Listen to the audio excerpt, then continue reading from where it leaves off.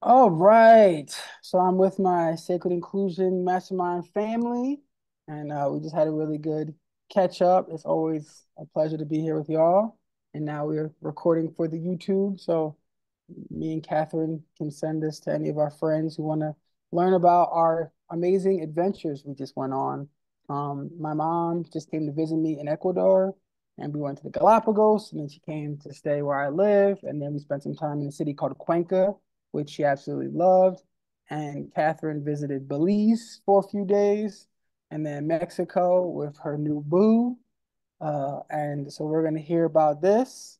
And uh, so thank you for joining us. Stay tuned for all the adventures. So I'm going to get right into it. Um, yeah, this was one of the most ex special experiences of my life. I'm getting excited. Um, yeah, you know, I moved to Ecuador three years and I had three years ago, and I hadn't seen my mom in about a year and a half. So just the opportunity to spend time with her is always precious. And moving to Ecuador, that is the hardest part, is being away from friends and family, like hands down. It's probably the only really difficult aspect I have of that. And um, so her coming down, it meant the world to me. It was so fun. It worked out like greater than I ever could imagine. It was really like everything, all the the plans and the logistics and everything. It was just so amazing. So I'm really happy for that. And um, what I'm gonna say, okay, yeah. So when my mom, we were talking about it, my mom was like, "Look, like if I'm coming to visit you in Ecuador, we're going to the Galapagos Islands." You know, I worked my ass off. I saved up my money. We're going to the islands, and you know, it's the tourist. It's a, it's like the tourist attraction of Ecuador, so it's a little bit more expensive and to get there. And I'm like, oh, my finances are. He's like, hey, any help you need, I got you. But we're going to the Galapagos, and I'm like, yo, like, all right, we can do that. So we planned it, and then we're we pick a day to buy our tickets or whatever. A week before we uh, decided to buy our tickets, a friend, Ecuadorian from Quito, my man Sebastian, who was living here where I live now for 13 years, he tells me, he's like, yo, dude, I, I gotta tell you, I'm leaving Vilcabamba. I'm like, what? Where you going? He's like, I'm moving to the Galapagos. I'm like, what? Like, that's crazy. Uh, what what island are you moving to? He's like, uh, San Cristobal. I'm I'm like, well, I'm really sad you're leaving because that's my man. But I'm actually about to buy a ticket to the Galapagos, and that is the island we're going to. Like I was like, you know, we're th- thinking about like you can. There's like I think four or five different islands that people live on, but we didn't really want to do the boat thing. So when I found out that he was moving there, that's the island. We're spending all five days there. So not only was I with my mom, but I pretty much sp- I pretty much spent like all every day with my mom, and then the night with Sebastian, my friend. So I got to experience life on the island, not just as a tourist, but as people that live on the island. He's only been there for four months, but it's a small town. There's 3,000 people. I played basketball three times on the Galapagos, which is just crazy to say. Just like hooping on the Galapagos is it was just mind blowing. And I just got experiences like even going to his house. He lives a little up in the highlands, and he rents this place out where there's like there's mango trees and peaches and guanabanas, which are soursop in English, and all types of different fruits. And he has a 11 year old and an eight year old child, and his wife is amazing. So we get there, and his children are in the trees cutting guavas down for us, like giving us all these fruits. And they cook this fish like on this like old fashioned grill. And my mom, my mom loved them. They loved it. She loved it. So it was just a very, very uh, special experience that, you know, like I said, it wasn't just the the normal, I'm a tourist, I go to the tourist places. I got to experience something different, which is really cool. Um, and the Galapagos are insane. It is a whole other world. Uh, you know, I recommend anyone who, you know, wants to experience some sort of tropical island that just doesn't make sense. That is a good place to go. And, you know, I'm I'm kind of on the path as well, so we can meet up as well. But um, the craziest part about the Galapagos is the fact that the animals are not afraid of people. And like I heard about it, but to experience it, it doesn't make any sense. Because you know, my whole life, animals see humans and they're like, run, it's a human. They just get out. but the the sea lions just like walk right past you like you don't exist. There's little birds that like hop on your shoulders and like looking at you. Uh, there's iguanas that are just like wrestling right in front of you and they don't pay you no. The iguanas, like if you get kind of close, they start looking at you. But and then I mean, obviously I didn't try to touch it, but they're them, but they're so comfortable with humans. It's like nothing I've ever experienced, and it's really bizarre. It's really cool. It kind of like makes me think what life would have been like, you know, whatever thousands of years ago before I don't know we started kind of changing our our culture, let's say. But yeah, it's really cool. Um, the history of that place is also cool. You know, something fascinating is, you know, you learn about Hawaii and people have lived in Hawaii for hundreds of thousands of years. But in the Galapagos, there was no humans. The first, actually, I, I read the first letter.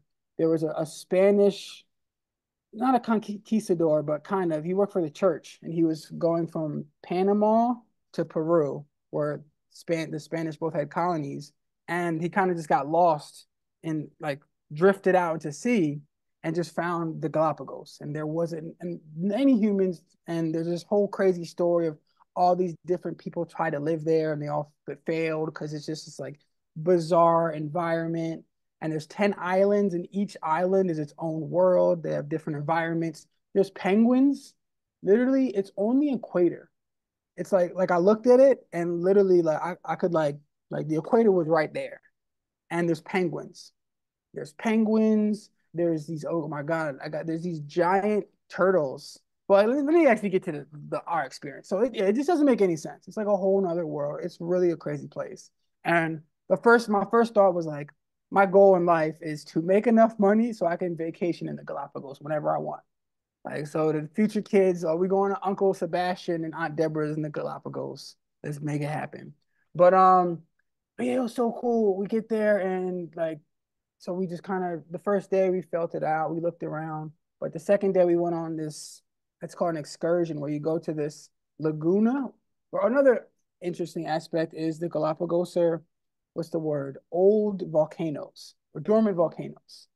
So there's one you you walk up this hill and shout out to my mom because my mom is she's older and she probably hiked more in those five days in the Galapagos than she has in the past 30 years.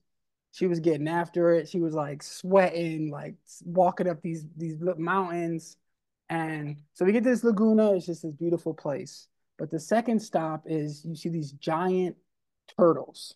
And they're probably like, I don't even know, 500 pounds. You can like sit on them and they're they're they're fine with it. But so we're looking at these turtles. It's like it doesn't make any sense. It's like dinosaurs. It's like I feel like I'm looking at a dinosaur, and so we're following the path. And at one point, there's two tur turtles right in the middle of the path, and there is a big one, a bigger one on top of a little little one, and we're just hearing grunting noises. And literally, me and my mom are watching these two massive turtles having sex. I got the video um, and, and it was like it's insane. and, and, like we were, we didn't know what to do. Like, uh, maybe I even put the video here or whatever. We didn't know what to do. But at some point, you know, our taxi driver was like, "Yeah, like 45 minutes, and then we can go to the next place." We're like, "We gotta go." So I had to, I had to sneak, I had to like walk out of the path, past these turtles having sex. And once I right, I passed them. The guy, like, he hit his long neck. His neck went all the way in, and he just like dismounted and I pretty much like killed the vibe, killed the vibe of the turtles. And then we kept moving. So that was biz- like bizarre. And then we went to this amazing beach. It's just pristine. It just doesn't make sense. It's just beautiful. You can walk up on the, the rocks and look over it. And that, that's where these little birds, uh, Darwin, I feel like we've all learned about Darwin. That's what he studied is like these Darwin finches or these little birds and they're just they, they want to hang out with you. It's so crazy. It's these little birds and like they're hopping and they're right next to you. And it's like, wait, like I just never experienced anything like it. So that was really special. And then um and then well, I forget what we did the next day, but I think the next day was when we went with um we went oh we went to Loberia where I went snorkeling. Oh my god. Snorkeling there is insane. Um, supposedly, like of all of the islands, there's the one in San Cristobal is the best snorkeling. but there's these like translucent fish, where there's these crazy blues and yellows, and it, it's just I don't know, it's like a disco ball down there. It doesn't make any sense. Um, snorkeling was really fun, and oh yeah, side note is they're the sea lions. They think they're human beings. So we, we, we there was this couple from Verona, Italy, and my mom is Italian American, and she speaks very little Italian, but you know she got excited, so they're speaking their Italian, having fun. And then the, the couple goes in the water, and a sea lion comes out of nowhere and just starts laying on their towel and their clothes, and just like rubbing, like rubbing in on it, and it was just like it was just bizarre, just full of bizarre occurrences. And I think where are we at with time? Oh yeah, I got more time. Um, another aspect, like I said, is in I think the next day, then we that's when we went to visit Sebastian and Deb and the family. And it was just, yeah, I don't even know what to say about that. They they cooked for us. It was just such an amazing experience. They're a fascinating couple. He's Ecuadorian from Quito, and she's actually born in Cape Verde, which is an island off the coast of Africa. And they met in Brazil. So it's you know, African Ecuadorian babies. She got long dreadlocks. She just got like Rastafari vibes, just like a wonderful human being. And I just learned, got to learn what their life was like, and you know, just like I said, play basketball. And trying to think if there was anything else that really stood out. But um, yeah, I think that's a good overview. Just feel like the whole time I was like, wow, it's crazy that this exists. Like the earth is so, so, so, so unbelievably beautiful and unique. And it's here for us. It's like we can experience it. And obviously, you know, we talked about just how tourism, like people are depending on tourism, but at the same time, tourism can be depleting to people. So it's you know, capitalism has a a difficult balance that we're kind of ever tr- forever trying to uh, to to manage, and so I was very cognizant about that. Uh, as things pop into my head, I'm just gonna say it. I was also I'm, I'm becoming a coach, so I'm starting my like coaching program, and one of the aspects of my coaching program is about judging, like seeing your inner judge, and being able to like, oh, there's my judge again, and inter- uh, interrupting the pattern.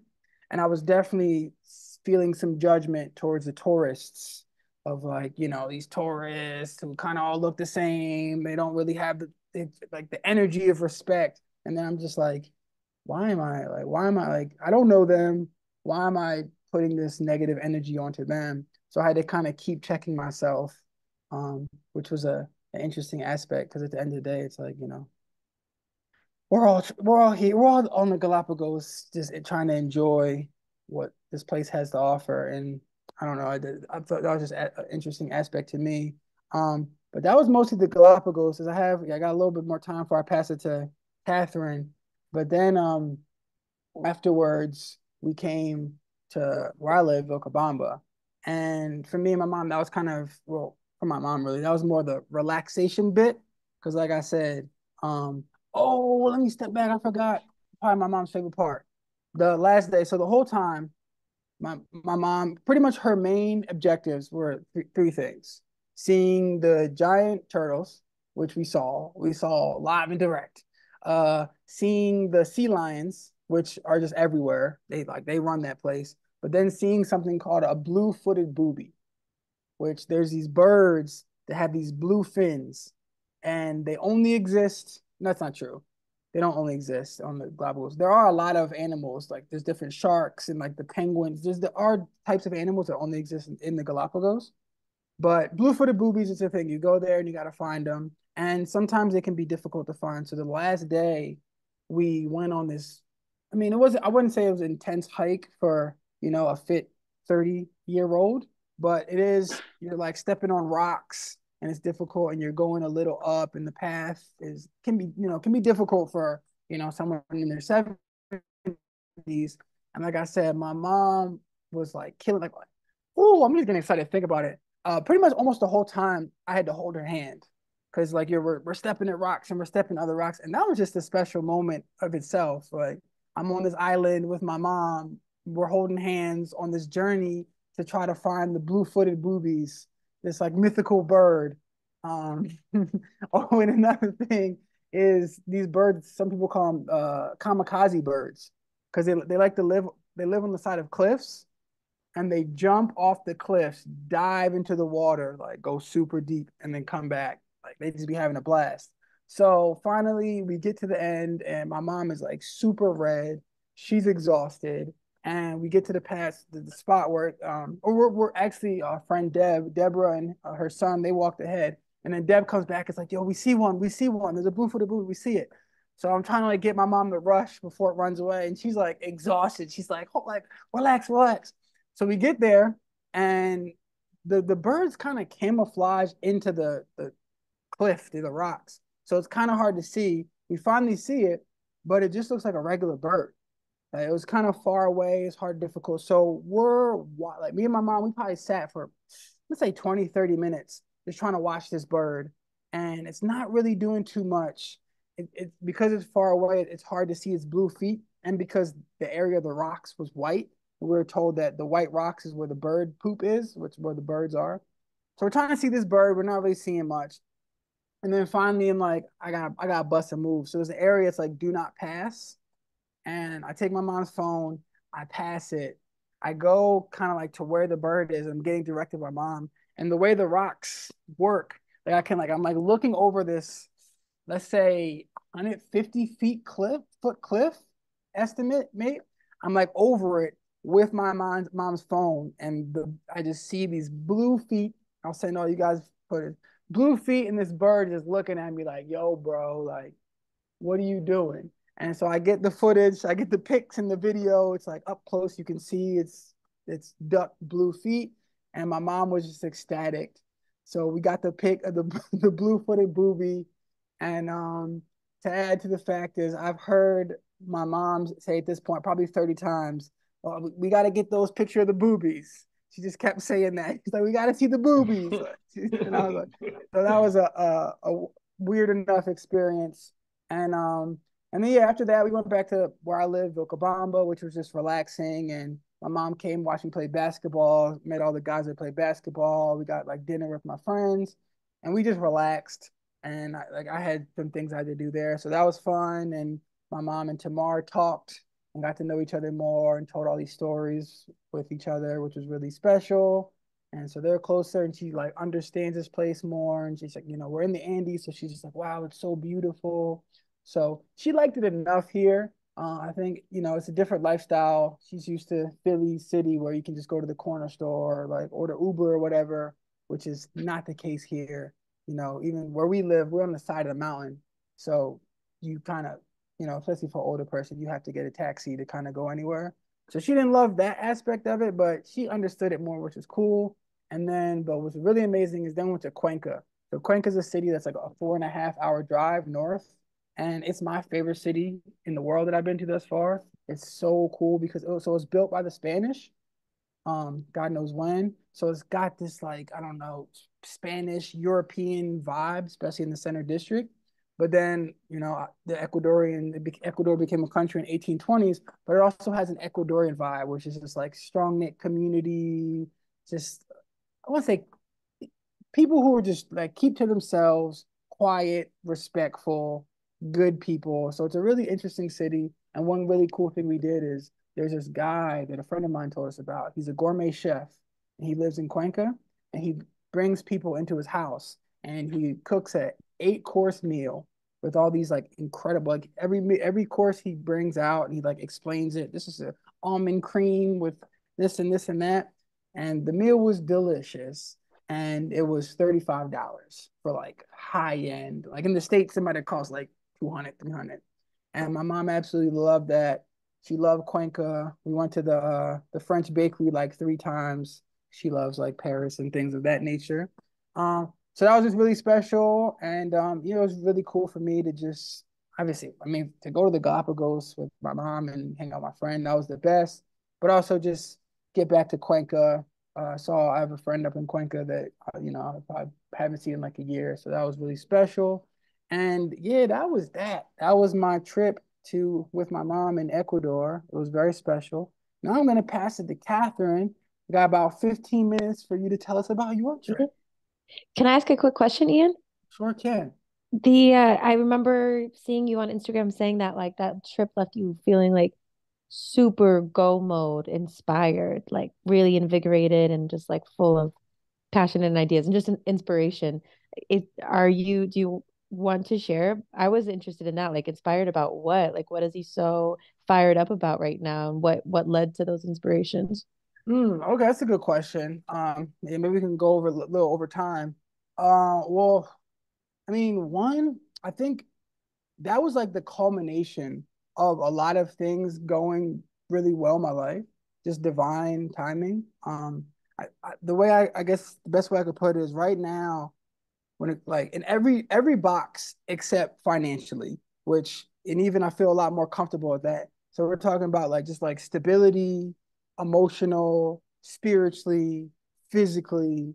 I feel great about where I am. Um, really, the next step is like getting a bag, let's just say, and and which you know I I never really gave maybe I'm not saying as much energy into that as I should have, but that I just even growing up before I started in the spiritual world. Oh, what's up, What Ron? does that mean? Oh, getting the bag means making money, pretty much. It's a euphemism. Let me let me keep it. Uh, yes, yes, yes. Um, but yeah, you know, okay. So I live in a small town in Ecuador. I get to my whole life is really oriented around my health. Um, Tamar, my partner, is like a research extraordinaire. So always bouncing new things. We have a very healthy schedule. You know, we go to bed around 9 30, 10. We wake up at 5 30. We do our health things. Like like everything is very stable. We're in a really good place. And then I don't know how much I told you, but so I, I told you guys about me stopping working with the um the compost company, and that was kind of a whole thing that was stressful, but it opened up space in my life, and all of these amazing opportunities started coming in. So one, Angelo introduced me to this coaching program where this New York Times bestseller, um, he made a program and he got a grant to give his program for free to coaches and it said you must be a certified coach, which I am not. But Angela was like, try anyway. So I wrote this whole essay, proofread it 12 times. They accepted me. And then my coach slash mentor, Wendy, decided to do the program with me.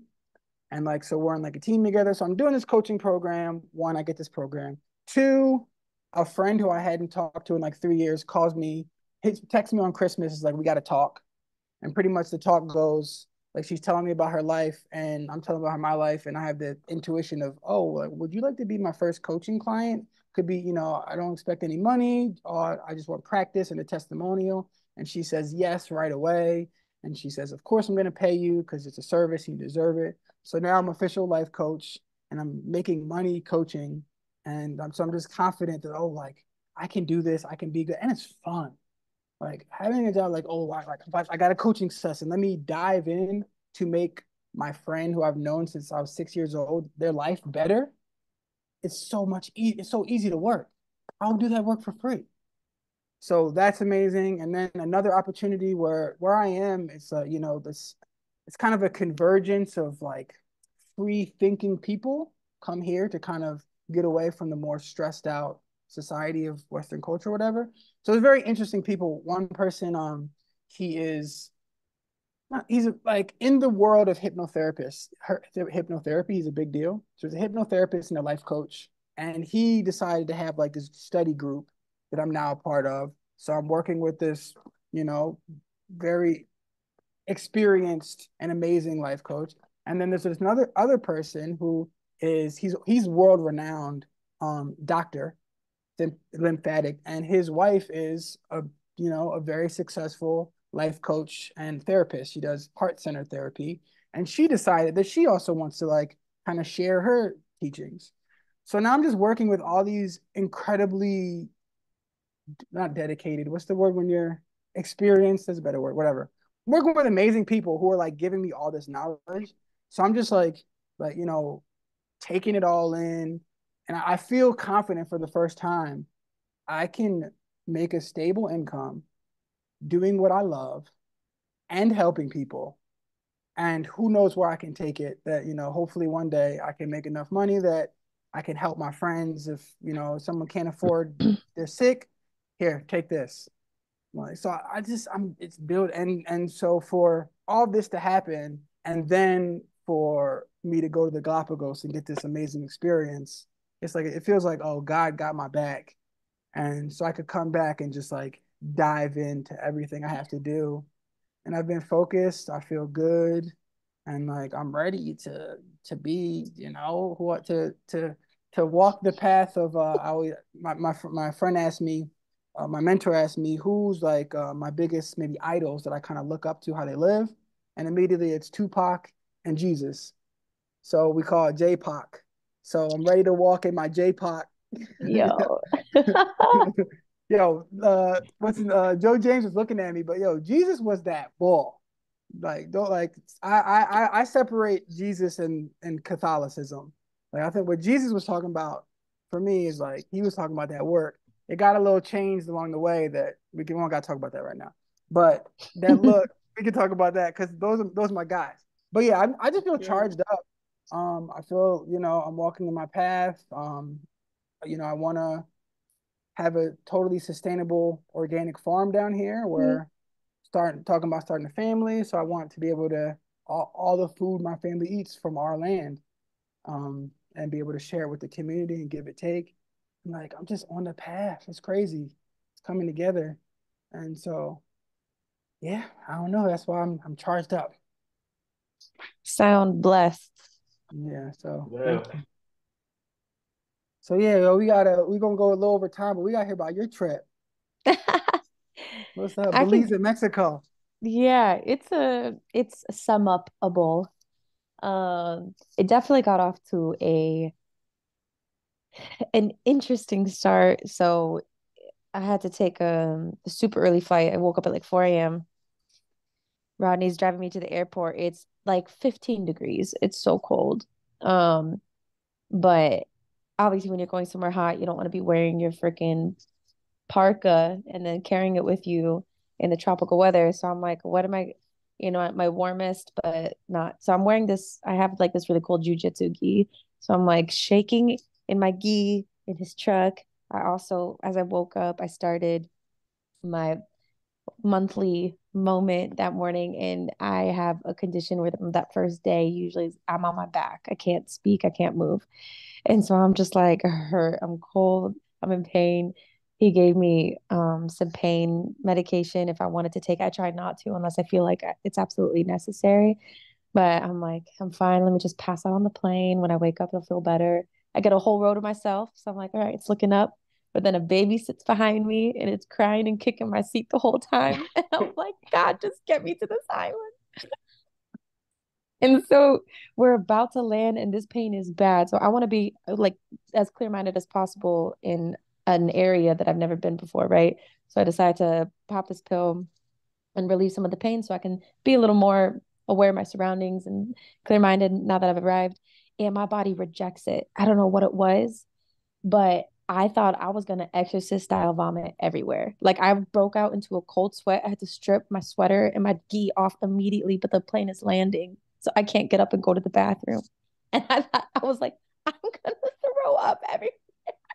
I was just trying really hard to practice like mind over matter, like mind control, telling my body, you do not feel sick. just deep breaths. You're good. and it passed, but like when I walked off that plane, I probably looked crazy. I'm like tired. I'm in pain. I just almost threw up. I was like, oh my God. So of all my traveling, I've I've just accepted that usually my first day in a new place, I'm gonna get gypped until I gain a better idea of my surroundings. So I get a ta- an overpriced taxi, which is fine, um, to the ferry because I'm gonna go stay on an island off the coast of Belize called Caye That I've never been to Belize. Sometimes I like to travel in the way where I just ask people for recommendations, and whoever gives me one, I trust that that's the one I was meant to be given, and I just go there without any the as much research as necessary, but I like to just kind of like get to know a place once I get there without over it's like it's like dating online, like knowing too much about a person before you meet them. It takes all the fun out of it, you know? Mm. Um, so I get on this ferry and I'm like, I got my bag of plantain and I got a Coke and a Coke in a glass bottle. So I'm like, things are looking up. I'm happy right now. It's warm. I'm finally at this ferry. I got my ticket. We're good. And then I see dark clouds. I check the weather. It's definitely going to rain. I'm like, that's okay. I don't think the, the ferry, it's like 45 minutes. I can't get too crazy, right? And like, I'm just happy to be summer warm. So I sit on the top deck of the ferry and um like soaking up that warm breeze and then it gets dark and i'm like we are going into those dark clouds right now and it just monsoons on us. Like i felt like i had bullets hitting my face. The rain was pelting me sideways and i'm just trying to hold my bag so that it gets it can remain as dry as possible um so that when i get to my hostel i don't have to hang everything up and it just is like murky and smelly and wet and I'm just I dyed my hair a few days before, so there's just red dye like coming out of my hair all over everything. I was like, what the fuck is happening right now? um, and finally we dock at the on the island, and I'm talking like you can't see like seven, eight yards ahead of you. The rain is so the rain and the wind are so sideways and intense. So I'm waiting for a break. I know it's like a eight minute walk to my hostel but in this rain, again, I'm trying to stay as dry as possible at this point. There's a break, and I'm just like holding my bag. I'm like, excuse me. And I just like part through the waves and like sprint to my hostel. Um, and it's like there's no cars allowed on this island. It's small. It's just like golf carts. So it's like dirt roads, potholes, golf carts, and like small, small buildings. Um, and I get to my hostel. I'm like, I'm here. And I try to like hang my stuff up somewhere, but I realize there's no lines to hang any wet clothes. I'm like, I gotta hang it. I got like a 10 bunk bed dorm, you know, like a $10 a night kind of thing. I like to travel like that sometimes. I'm like, that I just gotta hang up my clothes in this dorm room. It smelled so bad because there's no ventilation. Geese are thick and it's just drenched. I'm like, all right, well, here we are. Sorry, everybody. Anyway, so it got off to a rough start, but um, it was beautiful and amazing. And I'm really glad I got the first three days just of total like introvert alone time, um, being like a nobody somewhere and just like walking around. I had lots of jerk chicken and seafood. I had conch and um, pina coladas, and I signed up for this sailboat trip. I'm like, I, I don't know why I've gained this fear over the uh, as I've gotten older of the ocean um, but I don't like having fear. So as soon as I have it, I'm going to do something about it. Signed up for this sail trip. Took me out into the. I've never been on a sailboat. We went mad far, mad far. We are out in the water, and I went snorkeling, swimming with sharks, and I'm like terrified. I'm terrified of sharks. And granted, these are nurse sharks, which are essentially glorified catfish. Like they, they don't even have teeth, but they're they're you know they're like five feet long or something like that. I was I was tripping personally, but but we made it, and you know we saw some beautiful coral and beautiful fish, and it stormed on the way back in, and the guys were really like, "Hold the sail," blah blah blah, you know. So that was kind of cool. Um, it was really intense, but and then uh, Ian, I'm glad you said what you said about the judgment thing because that was convicting for me. When I got there, it was I was excited to have like an immersive like island experience, and it was just full of like my judge, you know, was I don't know why I even feel the need to express the negativity. Like it's one thing to observe it and it's another one to express it and like share spread that negativity.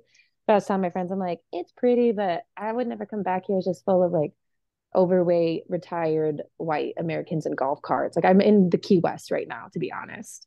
And I was like, why you gotta minimize it like that? You can just say it was a beautiful place. So thanks for sharing that uh that um those two cents because that was convicting. So then I fly to Mexico in this like six person plane, which was crazy. That was cool. It's like a rickety old thing. I was like, okay. Mm-hmm. Uh, but we get there and Rodney meets me there. And I was nervous because I've never traveled with somebody ever. I like to travel alone because I like to I I plan I'm a planner, but I plan just enough in order to be totally free and flow once I get to a place. I like to go with the flow and I've mm. never thought it was worth going somewhere and realizing you guys don't travel well together and then it's just a waste of time and money that like you hated. You know it's not worth the risk of like ruining your trip right? So i was a little nervous but it was so nice. We spent like six days together And I don't think I've ever spent that much time with somebody consecutively. And every single moment just felt natural and easy. There was never like, I want to do this, but I want to do that. Okay, how are we gonna comp like just we're on the same page without even having to express it every moment of the way. Um yeah, that was just so that was a gift I've never experienced before. And it was really nice um, I think we were like kind of at like a pivot point where it's kind of like, okay, let's assess. Have, has this been fun getting to know each other, or is this like, is this showing further promise? And that was a really um, telling moment for us. So that was really, really sweet. I have lots of photos and videos. I still haven't posted any. Took a really funny video. We're like on the beach. It's like the only day we got dressed up. It's like sunset, and I'm like taking a video, and I fall on my ass some kid must have like dug a hole in the sand. and I'm like taking the video and just totally fall on my ass. I like trip backwards in the video. It's so funny. Um, but the beaches were the whole island is again pretty small. We had like a oh sorry, we went to this place called Isla Mujeres, which is an island off the coast of Cancun. we kept going to these places like Tulum and stuff. It just felt like Miami was dropped, picked up and dropped off in the middle of the jungle. It's just not it. And all these um locals kept telling us about this place called Isla Mujeres. We're like, might as well, fuck it. Like, you know, their eyes keep lighting up. Let's follow that lead. And we go, was amazing. It's like uh, you know, on a moped or something, you get around the whole island in 25 minutes. He brought his fishing pole. There's lots of these cliffs. We found these like parts of these cliffs you can we've climbed down. We found like a private little cove, beaches and caves and stuff, and just like we felt like we had a private island, honestly. And it was really it was really sweet and slow and nice. And we had a really good time. Yeah. Perfect. Uh, yeah, thank you for sharing. I gotta say, you said Isla de Mujeres, and I said Island of the Dead, and it's definitely Island of the Women. Women, yeah. I gotta make sure, like, you know, I've been living in Ecuador. I, like, I'm not that stupid. I had to clarify. Uh, yeah. Other than that, that was a lot of fun. Um, if you watched, thank you. you we gotta send this some of our friends, and um, yeah, peace and love. I'm Good so to see you guys, Catherine. Whoa, whoa.